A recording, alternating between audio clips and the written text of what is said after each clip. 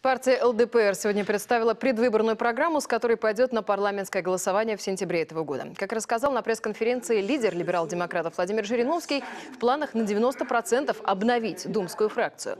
Для этого серьезно переработали программу, особенно экономический блок. Так ЛДПР собирается добиваться увеличения минимальной зарплаты в стране до 20 тысяч рублей, списания долгов перед государством для пенсионеров и малоимущих, избавить предпринимателей от налогов на два года. Деньги для бюджета предлагается искать за счет оптимизации расходов госкорпораций, работы таможни, а также новых шагов для возвращения выведенного капитала обратно в Россию. Ну не возвращают денег из офшора. Если принятый документ не дает денег, значит он плохой документ.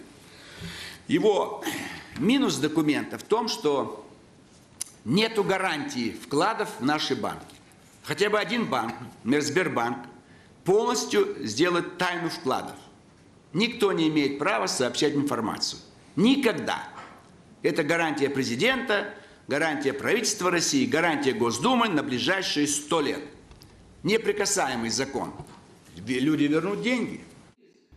Есть в предвыборной программе ЛДПР и более экзотические предложения. Например, ввести административное деление России на губернии.